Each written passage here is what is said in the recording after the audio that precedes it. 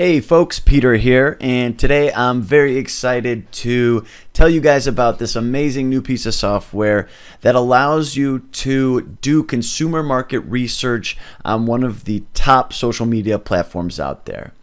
Uh, the app is called Sorting Social. You can find it at uh, sortingsocial.com. And what you can do with Sorting Social is you can sort Pinterest pins and do market research on Pinterest. So I'm going to go ahead and I'm going to show you some examples of why you might want to do this. My first example, as you all know, I'm big into the print on demand industry, Teespring, Teechip, Viral Style, Teezily.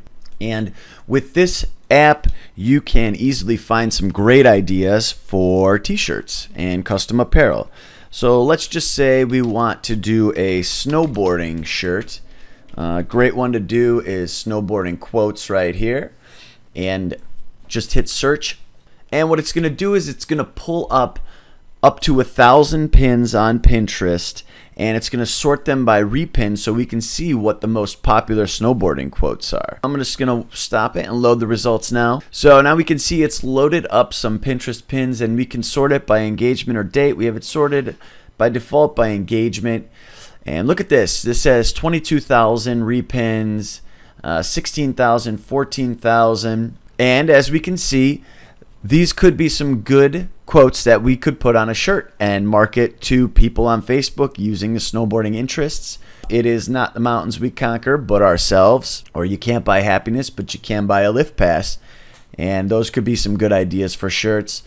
Something else you can use Sorting Social for, you can use it for your drop shipping business. So, for example, we throw in the search term kitchen gadgets, and we'll just stop and load the results now. 175 is good and it's going to bring us up tons of ideas of kitchen gadgets that we might want to put on our kitchen gadget Shopify store. And I can pretty much guarantee you that you can find a bunch of these items on AliExpress and look how popular they are.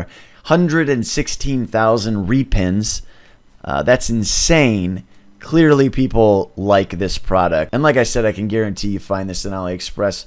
Throw it in your Shopify store and run an ad to it and watch the magic happen. Another thing I wanted to show you guys here is they do have a uh, thing called favorites for people who pay for the app. There's a free version and there's a paid version. In the paid app, you'll get to see all the results. In the limited version, some of the results will be obscured and you won't get as many. Um, but in the paid version, you can actually save favorites.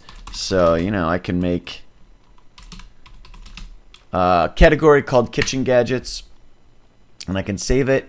And now if I go to my favorites it will bring up my favorites. And over here I can pick which favorites I want to show keep everything nice and organized and remember all the ideas that I come up with. I just wanted to show you guys this great new app where you can do consumer market research on Pinterest and find hot items that your audience are going to love.